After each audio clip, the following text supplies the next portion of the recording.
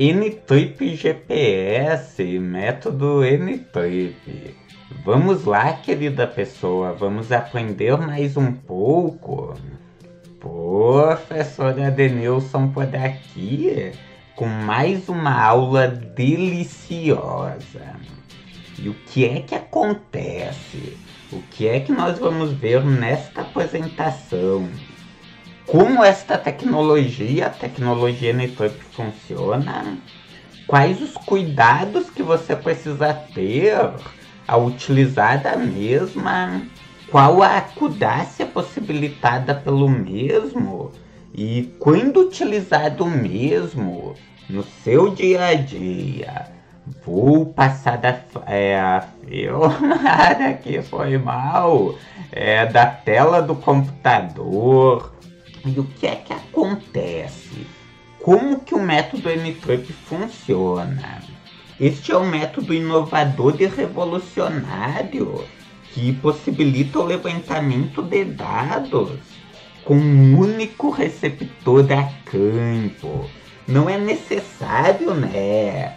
É que você tenha um GPS base, um é o funcionamento clássico, né, do método do método RTK no caso, com GPS base, mais um rover. É para entendermos melhor do método N-Trip, vamos entender do método RTK convencional. Como que funciona o método RTK? Bem simples. Existe o método RTK UHF. Ó, cuide esta imagenzinha aqui.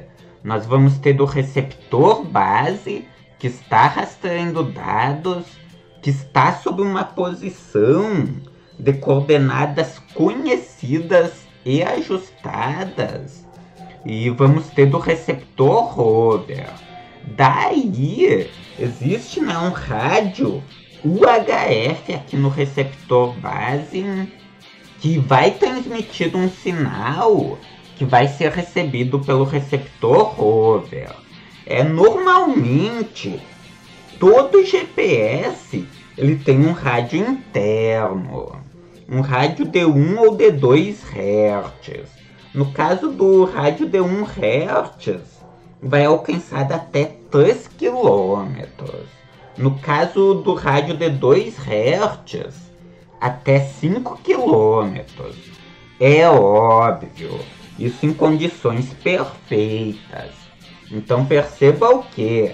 Ah, o local onde que você trabalha possui uma topografia acidentada. É, possui propriedades de grande porte. Então você tem que utilizar um rádio externo. Um rádio de 4 Hz ou de 5 Hz.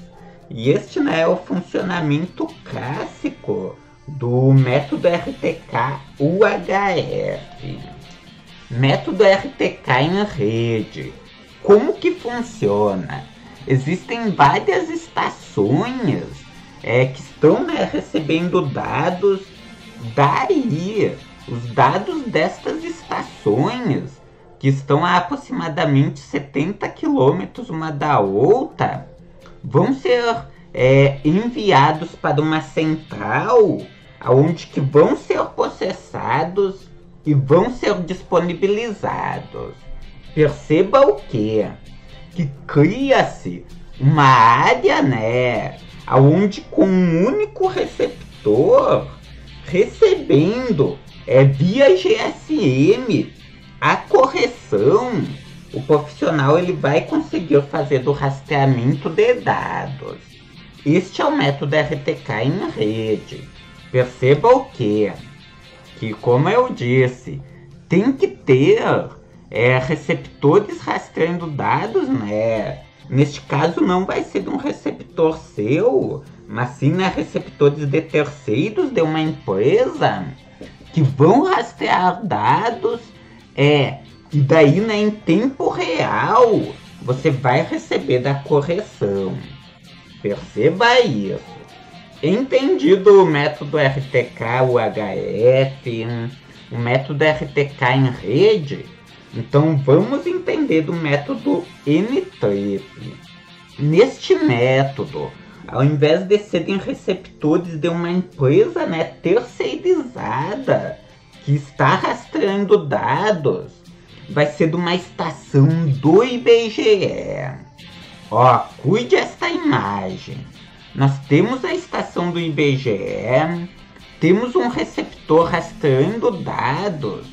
Este receptor, via internet, vai enviar os dados para o servidor do IBGE, que vai fazer né, os devidos tratamentos e que vai disponibilizar para os usuários finais. Então perceba o que? Que tem que ter disso, né?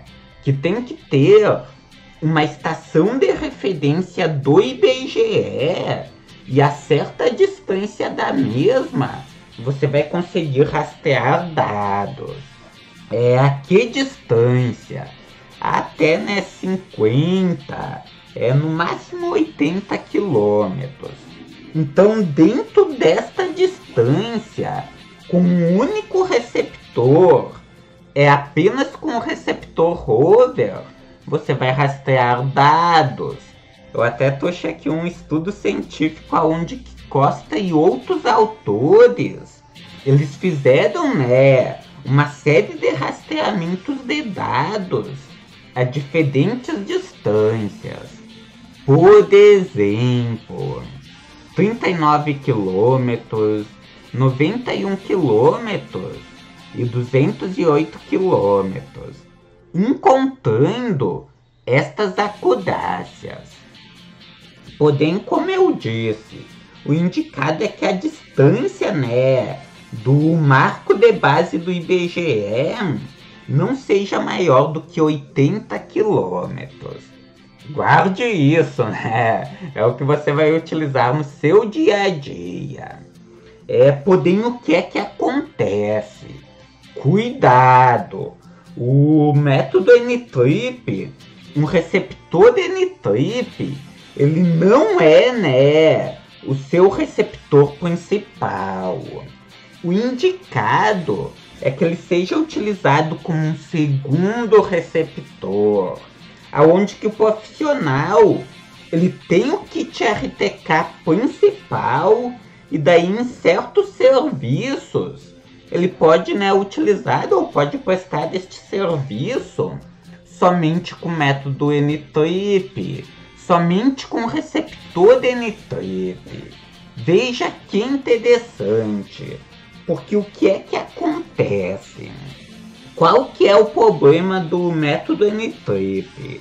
Bem simples, sinal GSM, né? Ele precisa ter é, o recebimento de dados via internet, é, via chip GSM tem que ter sinal de celular, no caso, no local no qual você está rastreando dados.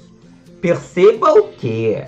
Que não vai ser lá dentro da grota, que não vai ser é lá dentro do córrego, lá no interior do município, não vai ser é, nesses locais extremos que o sinal, é, que o método N-Trip, melhor dizendo, vai poder ser utilizado.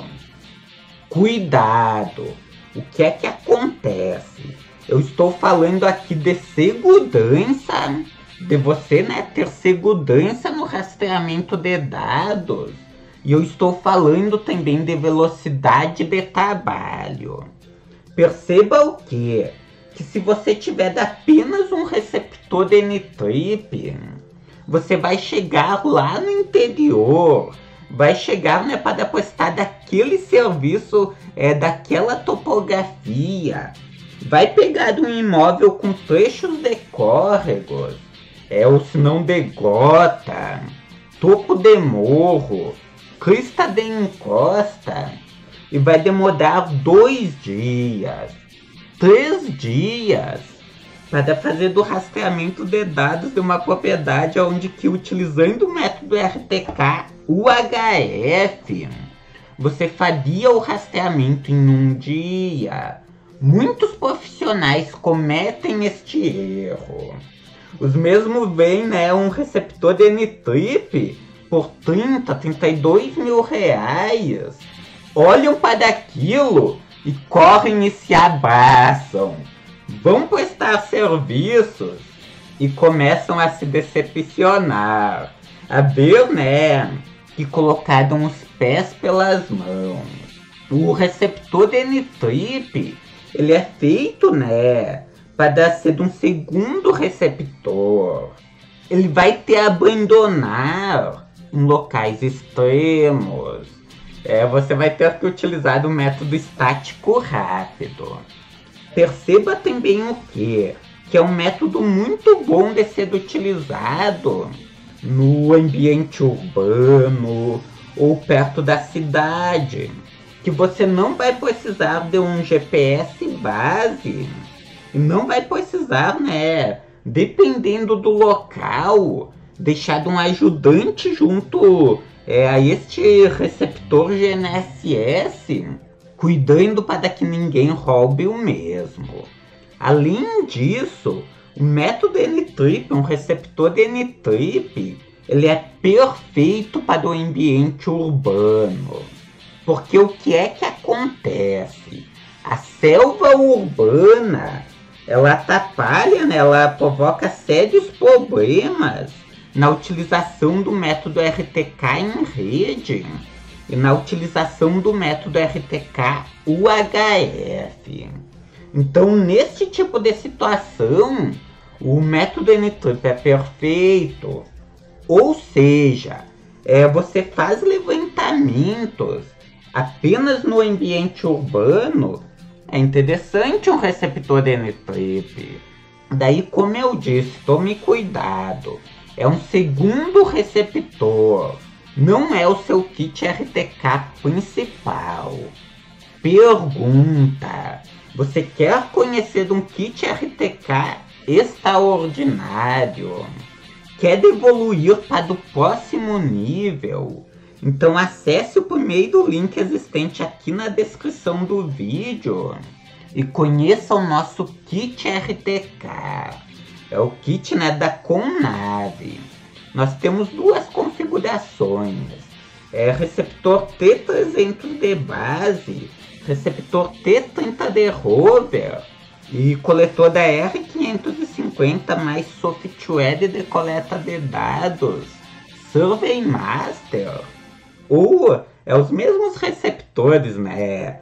T300 de base, T30 rover mais coletor da R200 e uma licença do Service Air. O Service Air é o software de queridinho dos profissionais. Tem mais de 40 ferramentas avançadas, né? Então acesse aqui, ó, produtos, tem o nosso kit RTK e conheça melhor do mesmo. É, assista este vídeo e aqui na página daí vai ter é, aqui embaixo, né, alguns botões que você vai clicar nele e vai me enviar uma mensagem no WhatsApp. Acho que aquele primeiro botão tá com problemas, foi mal. É, enfim, você clica nele e me envia uma mensagem no WhatsApp que eu faço um orçamento sem compromisso para você pergunta: O que é que você achou desta aula? Gostou? Curtiu? Então dê o seu joinha. Diga gostei, né? Não gostei. É, você possui alguma dúvida a respeito do método N-Trip? Poste a mesma aqui embaixo, na área de comentários um beijão bem lá no fundo do seu coração. Gratidão, gratidão mesmo. Do fundo do meu coração por você ter assistido a este vídeo. E nós nos vemos amanhã na nossa próxima videoaula. Até mais!